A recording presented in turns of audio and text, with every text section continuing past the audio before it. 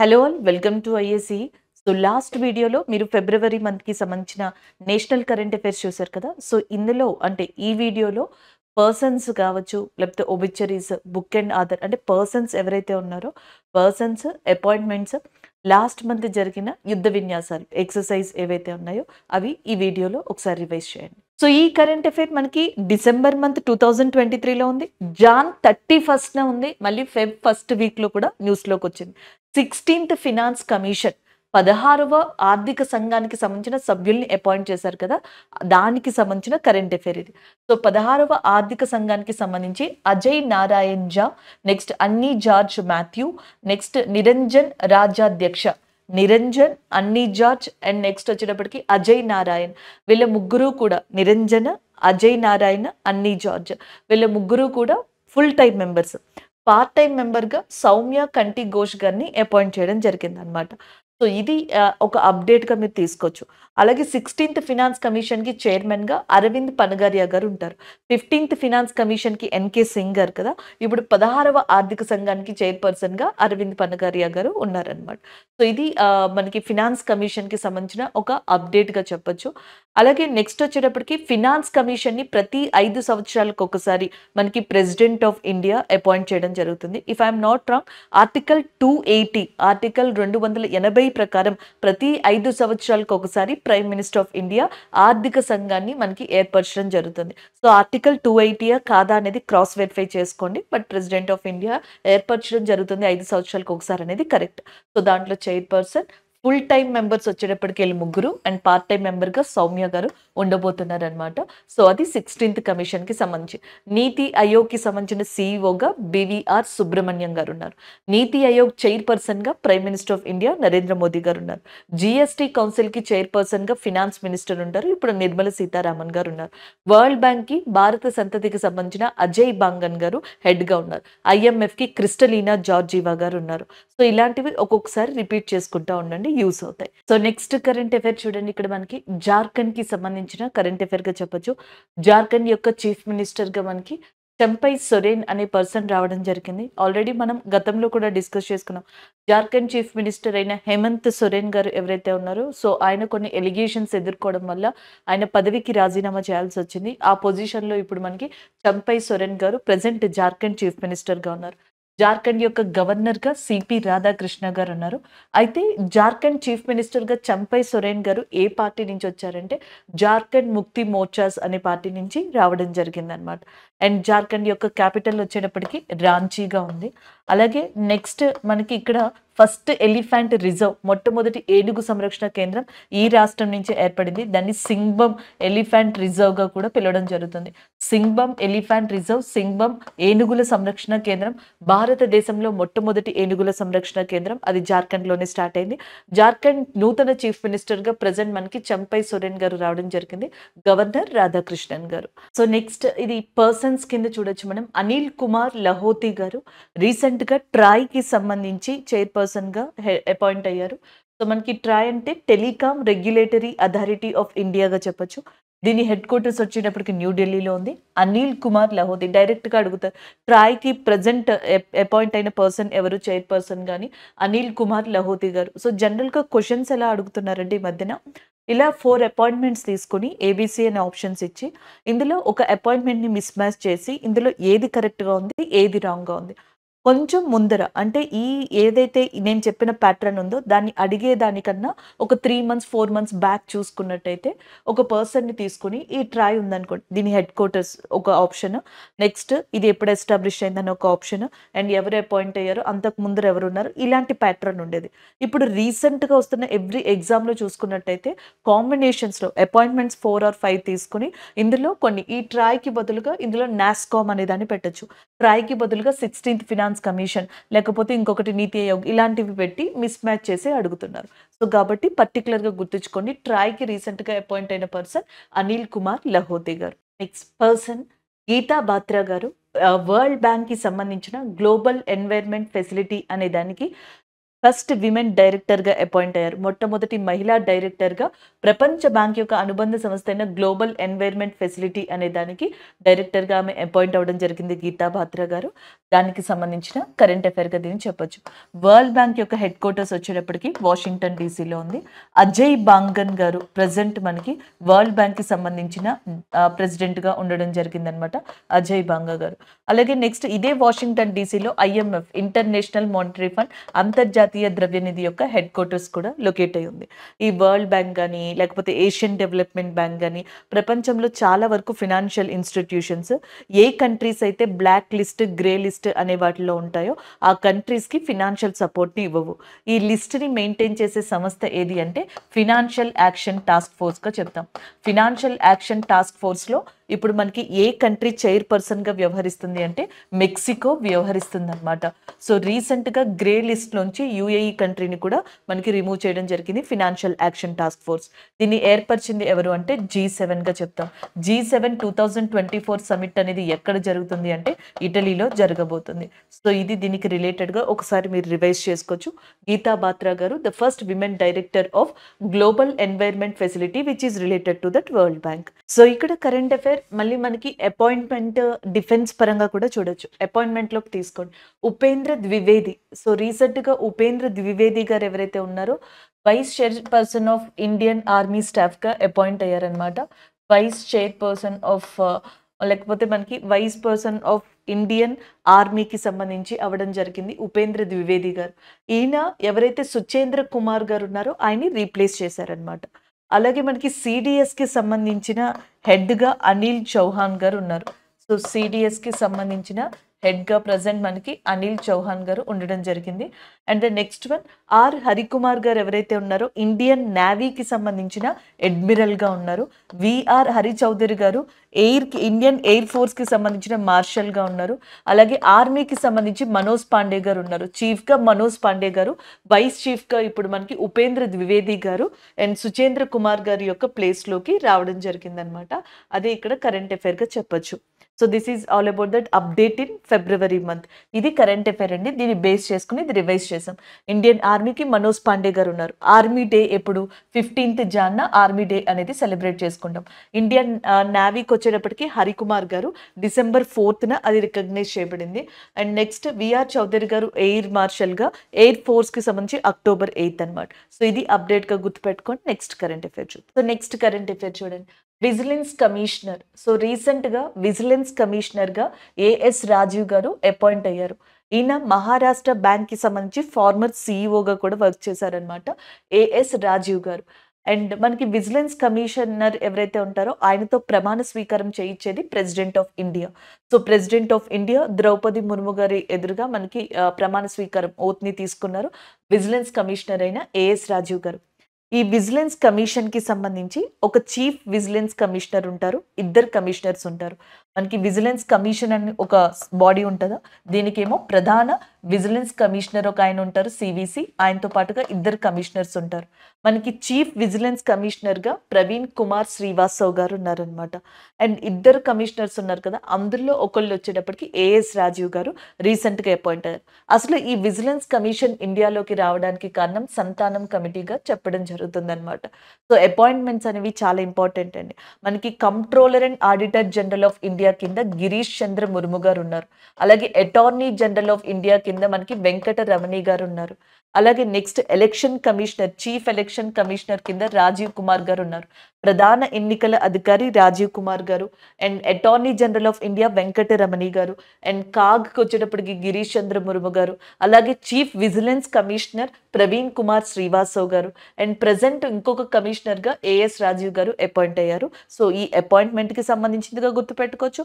Persons in news కింద కూడా దీన్ని చూసుకోవచ్చు అనమాట సో నెక్స్ట్ వన్ చూడండి. అమిన్ సైని రీసెంట్గా చనిపోయారు. Person in news obituaries in న్యూస్గా కూడా గుర్తుపెట్టుకోవచ్చు. అమిన్ సైని గారు వచ్చేటప్పటికి మనకి నైంటీ వన్ ఇయర్స్ ఆయన ముంబైలో చనిపోవడం జరిగింది. సో రీసెంట్గా ఎవరైనా ఒబిచరీస్లో ఉంటే the persons who are in obituaries the persons who are in current affairs so person of that current affair person in a day ఇట్లా న్యూస్లో ఉన్నారనుకోండి ఆ పర్సన్కి సంబంధించిన ప్రత్యేకమైన కేటగిరీ ఏదైనా ఉంటే అది అడుగుతున్నారు. ఈయన నైన్టీన్ ఫిఫ్టీ టూ నుంచి నైంటీ ఫోర్ మధ్యలో రేడియో షోని నిర్వహించారంట జనరల్గా మనకి. అండ్ ఈయన రేడియో ఆపరేటర్ అనే ఒక ఫీల్డ్కి సంబంధించిన వ్యక్తి. ఏ ఫీల్డ్కి సంబంధించిన పర్సన్ ఏదైనా అవార్డ్స్ వచ్చాయా? ఆయనకి ఏదైనా స్పెషాలిటీ ఉందా? ఆయన ఏమైనా బుక్స్ రాసారా ఆయనకి ఏమైనా అదర్ నేమ్స్ ఉన్నాయా? ఇలాంటి క్వశ్చన్స్ అన్ని అడుగుతారు. సో ఇక్కడ బుక్ కానీ అదర్ నేమ్ కానీ అవార్డు కానీ ఈయనకి సంబంధించింది లేదు కాబట్టి Amin Sayani ninety one years ఏజ్లో ముంబైలో రీసెంట్గా చనిపోయారు. ఫీల్డ్ అడిగితే రేడియో ఆపరేటర్గా గుర్తుపెట్టుకోండి. అండ్ పర్సన్కి సంబంధించిన న్యూస్ ఇది. సో నెక్స్ట్ కరెంట్ అఫైర్ వచ్చేటప్పటికి ఇక్కడ మనకి దోస్తి సిక్స్టీన్ అనే ఒక ట్రైలేటరల్ ఎక్సర్సైజ్ అన్నమాట. సో ఈ యుద్ధ విన్యాసం త్రీ కంట్రీస్కి సంబంధించింది. ఇండియా శ్రీలంక మాల్దీవ్స్కి సంబంధించిందిగా చెప్పొచ్చు. అంటే ఫర్ సపోజ్ మనకి ఇండియా తీసుకున్నట్టయితే ఇండియా దగ్గర ఉన్న కోస్టల్ కంట్రీస్ అంటే మాల్దీవ్స్ కావచ్చు శ్రీలంక కావచ్చు ఈ మూడు కంట్రీలతో మనం చేసిన యుద్ధ విన్యాసమే దోస్తీ సిక్స్టీన్గా చెప్తున్నాం. సో ఇది సిక్స్టీన్త్ ఎడిషన్ కాబట్టి ఇట్లా పిలవడం జరిగిందంట. దీన్ని మాల్దీవ్స్ దగ్గర యాక్చువల్గా కండక్ట్ చేస్తున్నారు February twenty fifth twenty sixth మధ్యలో మనకి ఈ ఎక్సర్సైజ్ని మాల్దీవ్స్లో కండక్ట్ చేశారు. నైన్టీన్ నైన్టీ వన్లో ఫస్ట్ టైం ఇండియా మాల్దీవ్స్ ఈ యుద్ధ విన్యాసాన్ని స్టార్ట్ చేసిన తర్వాత శ్రీలంక కూడా ఇప్పుడు మనకి దీంట్లో యాడ్ అవ్వడం జరిగింది. ఇది ట్రైలేటరల్ ఎక్సర్సైజ్గా మారింది. అలాగే నెక్స్ట్ వచ్చేటప్పటికి మనకి శ్రీలంక తోటి ఇండియా మిత్రశక్తి అనే ఒక యుద్ధ విన్యాసాన్ని నిర్వహిస్తుంది. స్క్లినెక్స్ అనే ఇంకొక యుద్ధ విన్యాసం ఉంది. మిత్రశక్తి అనేది ఇండియాకి శ్రీలంకకి సంబంధించిన యుద్ధ విన్యాసం. దాంతో పాటుగా స్క్లినెక్స్ శ్రీలంక ఇండియా నావీ ఎక్సర్సైజ్గా కూడా చెప్పొచ్చు అనమాట సో అలాగ మనకి యుద్ధ విన్యాసాలు అనేవి ఉన్నాయి. ఈ మధ్యన మాల్దీవ్స్కి మనకి కొంతవరకు ఇష్యూస్ అనేవి రైజ్ అవుతున్నాయి. అది కూడా మాల్దీవ్స్ యొక్క నూతన అధ్యక్షుడు మొహమ్మద్ ముయిజు వచ్చిన తర్వాత నుంచి. ఇన్ని ప్రో చైనా సపోర్టర్గా కూడా చాలా వరకు ఇంటర్నేషనల్ మీడియాస్లో చూపించడం జరుగుతుంది. Maldives Maldives president Mohamed Muizzu is portrayed as a pro China supporter in international media ప్లాట్ఫామ్గా కూడా చెప్పొచ్చు. ఆ తర్వాత నుంచి ఇష్యూస్ అనేవి లక్షద్వీప్ ఇంకా మిగతా వాటి నుంచి స్టార్ట్ అయినాయి అన్నమాట సో ఇది దీనికి సంబంధించిన అప్డేట్ అండి. Next month. Next current affair వచ్చేటప్పటికి మిలాన్ టూ థౌజండ్ ట్వంటీ ఫోర్కి సంబంధించింది. Milan two thousand twenty four Indian navy exercise ఇది. అండ్ ఇండియా నిర్వహించే అతిపెద్ద నావిక యుద్ధ విన్యాసంగా కూడా దీన్ని చెప్పొచ్చు. ఆంధ్రప్రదేశ్లోని విశాఖపట్నంలో దీన్ని నైన్టీన్త్ ఫిబ్రవరిన స్టార్ట్ చేశారు. టోటల్గా ఫిఫ్టీ వన్ కంట్రీస్ దీంట్లో పార్టిసిపేట్ చేశాయి. అయితే ఫర్ ద ఫస్ట్ టైం ఇండియాకి సంబంధించిన రెండు ఎయిర్ క్రాఫ్టర్స్ ఒకే యుద్ధ విన్యాసంలో పాల్గొన్నాయి. అవి INS Vikrant and INS Vikramaditya. ఈ రెండు కూడా మనకి ఎయిర్ క్రాఫ్టర్స్ అన్నమాట. INS Vikrant INS Vikramaditya. అలాగే వీటితో పాటుగా ఐఎన్ఎస్ చెన్నై అనే యుద్ధ నౌక కూడా దీంట్లో పార్టిసిపేట్ చేసింది. INS Chennai INS Vikrant INS Vikramaditya ఇవన్నీ కూడా మిలాన్ యుద్ధ విన్యాసంలో మనకి పార్టిసిపేట్ చేయడం జరిగింది. ఇండియన్ నావీ డే అనే దాన్ని డిసెంబర్ ఫోర్త్న మనం రికగ్నైజ్ చేయడం జరిగిందనమాట so this is all about this current affair person of the year obituaries ఇలాంటి దానికి సంబంధించింది కదా ఇది. ఆచార్య విద్యాసాగర్ మహారాజ్ ఆచార్య విద్యాసాగర్ మహారాజ్ గారు రీసెంట్గా గా మరణించడం జరిగింది. సల్లేఖన అనే ఒక వ్రతాన్ని ఆచరించి ఈయన చనిపోయారు. Sallekhana is a system which is mainly used in జైనిజంగా చెప్తాం అనమాట ఫాస్టింగ్ అప్ టు ద డెత్గా చెప్పడం జరుగుతుంది. చనిపోయే వరకు ఫుడ్ని కానీ లేకపోతే ఇంకా లిక్విడ్స్ని కానీ తీసుకోరు. ఈయన జైనిజానికి సంబంధించిన వ్యక్తి. జైనిజంలోనే ఈ సల్లేఖన వ్రత వన్ ఆఫ్ ద రిచువల్గా చెప్తాం. బేసికలీ ఈయన కర్ణాటకకి సంబంధించిన వ్యక్తిగా చెప్తున్నారనమాట ఆచార్య విద్యాసాగర్ మహారాజ్.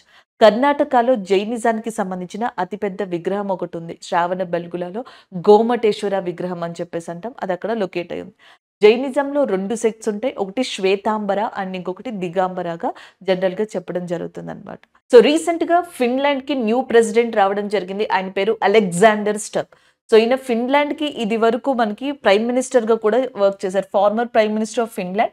ఇప్పుడు మనకి ప్రెసిడెంట్గా రావడం జరిగింది. ఫిన్లాండ్ అధ్యక్షులుగా వచ్చారు అలెగ్జాండర్ స్టబ్ సో ఈ ఫిన్లాండ్ యొక్క క్యాపిటల్ వచ్చేటప్పటికి హెల్సింకి ఏదైతే ఉందో హెల్సింకి క్యాపిటల్ ఆఫ్ ఫిన్లాండ్గా ఉంది.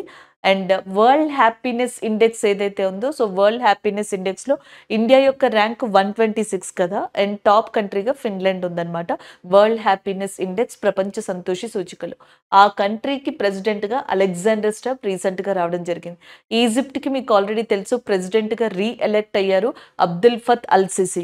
ఫ్రాన్స్కి అధ్యక్షులుగా లేదా ప్రెసిడెంట్గా ఇమాన్యువల్ మ్యాక్రోన్ అనే పర్సన్ ఉన్నారు. అండ్ ఇరాన్కి ప్రెసిడెంట్గా ఇబ్రహీం రైజీ గారు ఉండడం జరిగింది. సో ఇలాగ ప్రెసిడెంట్స్ ప్రైమ్ మినిస్టర్స్ నేమ్స్ చూసుకుంటా ఉండండి. So next current affair person of the ఇయర్గా చూడొచ్చు లేదా మనకి ఇక్కడ ఏమంటారు సైన్స్ అండ్ టెక్నాలజీలో కూడా చూడొచ్చు. ఒలాంగ్ ఒలాగ్ కొనాన్కో ఒలాగ్ కొనాన్కో అనే పర్సన్ రష్యన్ కాస్మోనెట్ రష్యన్ వ్యోమగామ్ అనమాట సో ఈయన ఒక రికార్డ్ని క్రియేట్ చేశారు అదేంటి? Longest time spent in space. Eight hundred and seventy nine days కంటిన్యూస్గా కాదనమాట. డిఫరెంట్ టైమ్స్లో ఆయన అక్కడ స్పెండ్ చేయడం జరిగింది బట్ ఓవరాల్గా uh, eight hundred and seventy nine డేస్తో అత్యధికంగా అంతరిక్షంలో మనకి ఉన్న పర్సన్గా రష్యన్కి సంబంధించిన ఒలాగ్ కొనాన్కో అనే ఆయన రికార్డ్ని క్రియేట్ చేశారు. అదే ఇక్కడ కరెంట్ అఫైర్ అసలు ఫస్ట్ స్పేస్లోకి వెళ్ళిన వ్యక్తి యూరీ గగారిన్ ఆయన కూడా రష్యాకి సంబంధించిన వ్యక్తే. ఫస్ట్ విమెన్ కూడా Russian విమెన్నే Valentina Tereshkova and the next one చంద్రుడి మీద కాలు పెట్టిన వ్యక్తి first person who landed on the moon Neil Armstrong చెప్పొచ్చు నైన్టీన్ సిక్స్టీ నైన్లో అలాగే ఫస్ట్ యానిమల్ వచ్చేటప్పటికి డాగ్ లైకా స్పేస్లోకి వెళ్ళింది అలాగే నెక్స్ట్ ఫస్ట్ ఇండియన్ స్పేస్లోకి ప్రవేశించిన వ్యక్తి రాకేష్ శర్మ గారుగా చెప్పొచ్చు అనమాట సో ఇవి మీరు జీకే పాయింట్ ఆఫ్ వ్యూలో ఇవి బాగా యూజ్ అవుతాయండి. బట్ ఒలాగ్ కొనాన్కోని డైరెక్ట్గా అడిగే ఛాన్సెస్ ఉన్నాయి eight hundred and seventy nine days ఆయన స్పేస్లో ఉండడం జరిగింది. బుక్ అండ్ ఆధార్కి సంబంధించిన కరెంట్ అఫేర్ ఇది. స్వాలోయింగ్ ద సన్ అనేది మనకి బుక్ అన్నమాట. దాన్ని రాసింది లక్ష్మీ మురుదేశ్వర్ పూరి. సో పర్టికులర్గా స్పెషాలిటీ ఏం లేదండి. అండ్ ఆమె ఫేమస్ ఆధార్గా చెప్పొచ్చు. సో లక్ష్మీ మురుదేశ్వర్ గారు ఎవరైతే ఉన్నారో స్వాలోయింగ్ ద సన్ అనే ఒక బుక్ని రాశారు. బుక్ అండ్ ఆధార్ని అడిగితే అది మీకు యూజ్ అవుతుంది. ఇది ఫెబ్ మంత్లో వచ్చిన బుక్ అండ్ ఆధార్కి సంబంధించింది. Next current affair thirty fourth chief justice of Karnataka ముప్పై నాలుగవ కర్ణాటక హైకోర్టు ప్రధాన న్యాయమూర్తిగా ఇటీవల నియమించబడిన పర్సన్ ఎవరు అంటే NV Anjaria so NV Anjaria గారు ఎవరైతే ఉన్నారో ఆయన రీసెంట్గా thirty fourth chief justice of కర్ణాటకగా appoint అవడం జరిగింది. కర్ణాటక యొక్క చీఫ్ మినిస్టర్ సిద్ధారామయ్య గారు అండ్ గవర్నర్ తవార్ చంద్ గెహ్లాద్ గారు ఉన్నారు. ఆల్రెడీ మనం కర్ణాటకకి సంబంధించి కొన్ని ఇంపార్టెంట్ కరెంట్ అఫైర్స్ డిస్కస్ చేయడం జరిగింది. Last time coffee board conference అనేది వరల్డ్కి సంబంధించి కర్ణాటకలోనే కన్క్లూడ్ చేశారు అని చెప్పేసి అరబికా రోబోస్టా కాఫీస్ ఇండియా నుంచి చాలా ఫేమస్ అని చెప్పొచ్చు. కర్ణాటకలో అవి చాలా పాపులర్ అని కూడా చెప్పడం జరుగుతుంది. అండ్ కర్ణాటకలో ఉన్న కెంపగౌడ్ ఇంటర్నేషనల్ ఎయిర్పోర్ట్ కావచ్చు. అలాగే రీసెంట్గా మనకి ఏదైతే రామేశ్వరం కెఫే అనుకుంటా ఒకసారి చూడండి బెంగళూరులో ఒక బాంబ్ ఏదైతే బ్లాస్ట్ అయిందో మనం ఇలాంటి న్యూస్ ఏం చేస్తాము అంటే జనరల్గా అది ఇష్యూ జరిగింది కాబట్టి న్యూస్లో ఉంది కాబట్టి ఏమీ అడగరని మనం అనుకుంటాము. కాకపోతే ఈసారి ఏమవుతుంది అంటే ఏదైనా ఒక ప్లేస్ న్యూస్లో ఉన్న పర్సన్ న్యూస్లో ఉన్న ఏదైనా బాగా ట్రెండ్ అవుతున్న సోషల్ మీడియాలో ఎక్కువగా వైరల్ అవుతున్న ఆ వర్డ్స్ ఆ ప్లేసెస్ దాన్ని తీసుకొచ్చి ఈ ప్లేస్ ఎక్కడ ఉండుండొచ్చు? ఇట్లాంటి క్వశ్చన్స్ అడుగుతున్నారు. అంటే జస్ట్ మీరు ఇన్సిడెంట్ మొత్తం తెలుసుకోవాల్సిన అవసరం లేదు. బాంబ్ బ్లాస్ట్ అని కొంతమంది అంటున్నారు. లీకేజ్ ఆఫ్ గ్యాస్ సిలిండర్ అని కొంతమంది అంటున్నారు. ఏదైతే బెంగళూరు ఇప్పుడు రామేశ్వరం కెఫే అనుకుంటుంది ఒకసారి ఆ న్యూస్ అప్డేట్లో ఆ ప్లేస్ ఆ ఏరియా ఎక్కడుందో చూసుకుంటే చాలు. అంటే జస్ట్ మనకి జరిగింది అనేది గుర్తుపెట్టుకోవాలి. ఇలాంటివి కొన్ని కొన్ని చూసుకుంటా ఉంటే అది ఈజియెస్ట్ క్వశ్చన్ అండి. చాలా కష్టపడకుండా మనం మార్క్స్ తెచ్చుకోవచ్చు. అది గుర్తుండిపోతుంది. కావాలని గుర్తుపెట్టుకోవాల్సిన అవసరం ఉండదు. అలాంటివి కూడా ఒక్కొక్కసారి చూస్తూ ఉండండి. బుక్ అండ్ ఆధర్కి సంబంధించింది ఇది. సో ఇక్కడ చూడొచ్చు. డాబ్లింగ్ ఇన్ డిప్లొమసీ అనేదాన్ని ఎస్డి ముని అనే పర్సన్ రాయడం జరిగింది. సో ఎస్డి ముని అనే పర్సన్ మనకి రాసింది ఏంటి అంటే డాబ్లింగ్ ఇన్ డిప్లొమసీ అనేదాన్ని అక్కడ మనకి మెన్షన్ చేశారు. ఇది బుక్ అండ్ ఆధర్కి సంబంధించింది. ఉత్తరాఖండ్ హైకోర్టుకి చీఫ్ జస్టిస్గా రీతు బహ్రీ గారు అపాయింట్ అయ్యారు. the first women Chief Justice of Uttarakhand High Court. So చాలా హైకోర్ట్స్కి ఇండియాలో రీసెంట్గా ప్రధాన న్యాయమూర్తులు అపాయింట్ అయ్యారు. అందులో రీతు బహరీ గారు ఒకళ్ళు. కాకపోతే ఉత్తరాఖండ్లో ఒక మహిళ చీఫ్ జస్టిస్గా హైకోర్టుకి రావడం ఇదే ఫస్ట్ టైం ఆమె పేరు రీతు బహరీ. అండ్ ఈమె వచ్చిన తర్వాత యూనిఫామ్ సివిల్ కోడ్ లాంటివి ఉత్తరాఖండ్ ఏదైతే అసెంబ్లీ ఉంటుందో పాస్ అవడం అంటే ఈ అన్ని ఒకే టైమింగ్లో జరిగినాయి అనమాట ఈమె హైకోర్టుకి ఉత్తరాఖండ్కి సంబంధించి ప్రధాన న్యాయమూర్తిగా రావడం దాని తర్వాత ఉత్తరాఖండ్లో అదే టైంలో మనకి యూనిఫామ్ సివిల్ కోడ్ బిల్ యొక్క ప్రాసెస్ అనేది జరగడం ఇవన్నీ సేమ్ ప్యారలల్ టైంలో జరుగుతున్నాయి. యూనిఫామ్ సివిల్ కోడ్ యొక్క ఆర్టికల్ ఫార్టీ ఫోర్ గోవా అనేది బిఫోర్ ఇండిపెండెన్స్ ఫుల్ ఫ్లెడ్జ్డ్గా ఇంప్లిమెంట్ చేసిన స్టేట్ ఆఫ్టర్ ఇండిపెండెన్స్ ఇప్పుడు మనకి ఉత్తరాఖండ్ అనేది రాబోతుంది. ఉత్తరాఖండ్ యొక్క చీఫ్ మినిస్టర్గా పుష్కర్ సింగ్ ధామి అన్నారు. అలాగే ఉత్తరాఖండ్ అనగానే మనకి వెంటనే గుర్తుకు రావాల్సింది Jim Corbett Jim Corbett national park first national park ఇండియాలో సో అది ఒకసారి మనం ఇక్కడ రివైజ్ చేయొచ్చు. అపాయింట్మెంట్ పర్సన్ ఇట్లా మనం ఈ కరెంట్ అఫైర్ని చూడొచ్చు. ఐఆర్సిటిసి ఒక్కొక్కసారి ఎబ్రివేషన్స్ కూడా అడుగుతూ ఉంటారు. So Indian railway catering and tourism corporation Indian railway catering and tourism కార్పొరేషన్గా ఐఆర్సిటిసిని చెప్పొచ్చు అనమాట సంజయ్ కుమార్ జైన్ గారు రీసెంట్గా చైర్మన్ అండ్ మేనేజింగ్ డైరెక్టర్గా దీనికి అపాయింట్ అయ్యారు. చైర్మన్ అండ్ మేనేజింగ్ డైరెక్టర్గా సంజయ్ కుమార్ జైన్ గారు దేనికి అపాయింట్ అయ్యారని అడిగితే ఐఆర్సిటీసీకి అపాయింట్ అవ్వడం జరిగింది. అలాగే నెక్స్ట్ మనకి అశ్విని వైష్ణవ్ గారు ప్రజెంట్ రైల్వే మినిస్టర్గా ఉన్నారు. ఇండియాలో ఫాస్టెస్ట్ ట్రైన్ అని చెప్పేసి దేన్ని పిలుస్తాం? వందే భారత్ ఏదైతే ఉందో దాన్ని ఫాస్టెస్ట్ ట్రైన్గా పిలవడం జరుగుతుంది. అలాగే మనకి అమృత్ భారత్ స్టేషన్స్ అని చెప్పేసి ఉన్నాయి. అమృత్ భారత్ స్టేషన్ స్కీమ్ మనం కరెంట్ అఫైర్లో కూడా చెప్పుకున్నాం. రైల్వే స్టేషన్ ఇన్ఫ్రాస్ట్రక్చర్ని చేంజ్ చేయడానికి తీసుకొచ్చిన స్కీమ్ అని. అలాగే భారత్ గౌరవ్ థీమ్స్తో నడిచే ట్రైన్స్ అన్నీ కూడా మనకి మెయిన్గా ఏ స్కీమ్లోకి వస్తాయంటే భారత్ గౌరవ్లోకి రావడం జరుగుతుంది. సో వందే భారత్ భారత్ గౌరవ్ అమృత్ భారత్ సో ఇవన్నీ ఒకదాని తర్వాత ఒకటి మీరు రివైజ్ చేసుకోండి. అలాగే ఇండియాలో అండ్ ప్రపంచంలో కూడా లాంగెస్ట్ రైల్వే ప్లాట్ఫామ్ మనకి సిద్ధారోధ రైల్వే ప్లాట్ఫామ్ లేదా హుబ్లీ రైల్వే ప్లాట్ఫామ్ అంటాం. కర్ణాటకలో లొకేట్ అయి ఉంది. ఈ కరెంట్ అఫైర్ ఒక appointment person in news and ఇంటర్నేషనల్గా కూడా చూడొచ్చు. సో మనకి ఇక్కడ కనిపిస్తుంది మరియం నవాజ్ మరియం నవాజ్గా చెప్పొచ్చు అనమాట ఈమె ఒక సరికొత్త రికా రికార్డ్ని పాకిస్తాన్ వైపు క్రియేట్ చేయడం జరిగింది. అదేంటి అంటే పాకిస్తాన్లోని పంజాబ్ ప్రోవెన్సీ ఏదైతే ఉందో సో దానికి ఫస్ట్ విమెన్ చీఫ్ మినిస్టర్గా ఈమె ఎన్నిక కావడం జరిగింది. Maryam Nawaz is in news she related to which country అంటే పాకిస్తాన్. ఎందుకు న్యూస్లో ఉన్నారంటే first women chief minister of Punjab province. So first పాకిస్తాన్లోనే first women chief minister అది కూడా పంజాబ్ ప్రోవెన్సీకి అయ్యారు. ఈమె వచ్చేటప్పటికి పాకిస్తాన్ యొక్క former prime minister Nawaz Sharif ఎవరైతే ఉన్నారో ఆమె కూతురంట. పాకిస్తాన్కి మూడు సార్లు ఆయన ప్రైమ్ మినిస్టర్గా వర్క్ చేశారు నవాజ్ షరీఫ్ గారు. ఆయన యొక్క కూతురు మరియం నవాజ్. మరియం నవాజ్ గారు ఇప్పుడు పంజాబ్ ప్రోవెన్సీకి ఏమంటారు ఫస్ట్ విమెన్ చీఫ్ మినిస్టర్గా రావడం జరిగింది. అలాగే మీకు జాన్ ట్వంటీ ఫోర్త్ అని చెప్పేసి ఉంటుందండి. జాన్ ట్వంటీ ఫోర్త్ అని. ఈ జాన్ ట్వంటీ ఫోర్త్ వచ్చేటప్పటికి ఇంటర్నేషనల్ గర్ల్ చైల్డ్ ఎడ్యుకేషన్కి సంబంధించిన డే మనకి నేషనల్ గర్ల్ చైల్డ్ డే అంటాం. అది కాకుండా international girl child education day కూడా యునైటెడ్ నేషన్ జా యునైటెడ్ నేషన్ యునైటెడ్ నేషన్తో ఉన్న అనుబంధ సంస్థలు ఏవైతే ఉన్నాయో అవన్నీ జాన్ ట్వంటీ ఫోర్త్న అలా మానిటర్ చేసుకుంటూ వస్తున్నాయి.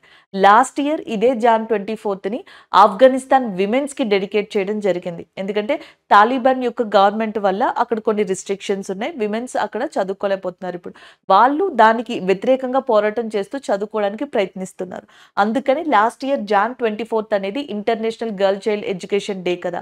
అది ఆఫ్ఘనిస్తాన్ విమెన్స్కి డెడికేట్ చేశారనమాట అలాగే రీసెంట్గా ఇరాన్కి సంబంధించిన ఎవరైతే మనకి నర్గెస్ మొహమ్మదీ ఉన్నారో ఆమెకి నోబెల్ పీస్ ప్రైజ్ అనేది వచ్చింది. ఈవెన్ ఇరాన్లో కూడా మనకి కొంత ఏమంటారు ఇష్యూస్ అనేవి జరుగుతున్నాయి. అక్కడ ఉన్న కొన్ని రిలీజియస్ లాస్ రిస్ట్రిక్షన్స్ వల్ల.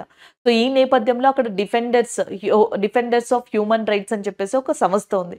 షిరిన్ ఇబాది అనే పర్సన్ ఈ డిఫెండర్స్ హ్యూమన్ రైట్స్ అనే దానికి సంబంధించిన ఫౌండర్ అన్నమాట. ఆమెకి నోబెల్ ప్రీ పీస్ ప్రైజ్ ఇచ్చారు. అయితే సెకండ్ విమెన్ ఇప్పుడు మనకి నోబెల్ శాంతి బహుమతిని అందుకున్న సెకండ్ ఇరానియన్ విమెన్ ఎవరు అంటే నర్గిస్ ముహమ్మది. ఈమె అదే సంస్థలో మెంబర్ గతంలో ఎప్పుడో ఒకసారి షిరిన్ ఇబాదీకి ఇచ్చారు. ఇప్పుడు టూ థౌజండ్ ట్వంటీ త్రీలో నోబెల్ పీస్ ప్రైజ్ నర్గిస్ మొహమ్మదీకి ఇచ్చారు. Narges Mohammadi is in news she related to which country Iran Shirin Ebadi Iran అలాగే మరియం నవాజ్ పాకిస్తాన్. సో అలాగే నెక్స్ట్ సైమా వాజిద్. సైమా వాజిద్ బంగ్లాదేశ్ యొక్క ప్రైమ్ మినిస్టర్ ఉన్నారు చూసారా? షేక్ హసీనా గారు.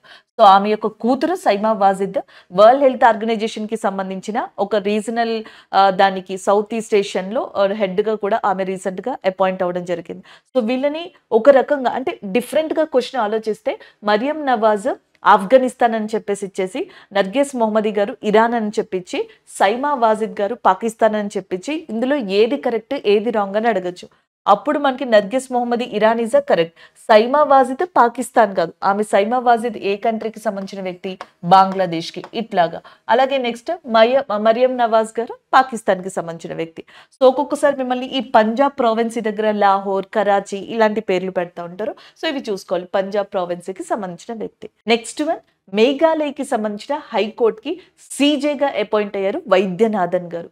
సీజే వైద్య ఎస్ వైద్యనాథన్ గారు ఎవరైతే ఉన్నారో జస్టిస్ వైద్యనాథన్ గారు మేఘాలయ హైకోర్టుకి చీఫ్ జస్టిస్ ప్రధాన న్యాయమూర్తిగా రీసెంట్గా అపాయింట్ అవ్వడం జరిగింది. దానికి సంబంధించిన కరెంట్ అఫైర్ ఇది. Meghalaya is a very popular and tourism place in India so ఇక్కడ important పర్సన్స్గా Khasi hills Khasi tribes Garo tribes అని చెప్పేసి ఉంటారు. ఈ కాశీ ట్రైబ్స్ హీరోగానే తిరాత్ సింగ్ అనే పర్సన్ చెప్తాం. రీసెంట్గా తిరాత్ సింగ్ యొక్క స్టాట్యూ అనేది కూడా స్టార్ట్ అయింది అనమాట ఇనాగ్రేట్ అయ్యింది. So Tirot Sing is a leader or hero of Khasi tribes Khasi Garo లాంటి గిరిజన జాతులు ఉండేది మేఘాలయలో. వీటి పేరు మీద కొండలు కూడా ఉన్నాయి హిల్స్ కూడా ఉన్నాయి మేఘాలయలో. And Meghalaya is very popular for Mawsynram place ప్రపంచంలో అత్యధికమైన వర్షపాతం పడే ప్రాంతం. The most rainfall place in India Mawsynram and second place ఇండియాలో చిరపుంజిగా కూడా చెప్పొచ్చు అనమాట అలాంటి మేఘాలయలో మనకున్న బయోస్పియర్ వచ్చేటప్పటికి నోక్రెక్ అని చెప్పేసి అంటాం ఇక్కడ ఒక ఫెస్టివల్ కూడా జరుగుతుంది. వాంగాలా ఫెస్టివల్ అని చెప్పేసి అంటాం Wangala festival hundred drums festival ఇలాంటిది అంటాం ఇవన్నీ కూడా మేఘాలయలోనే జరుగుతాయి.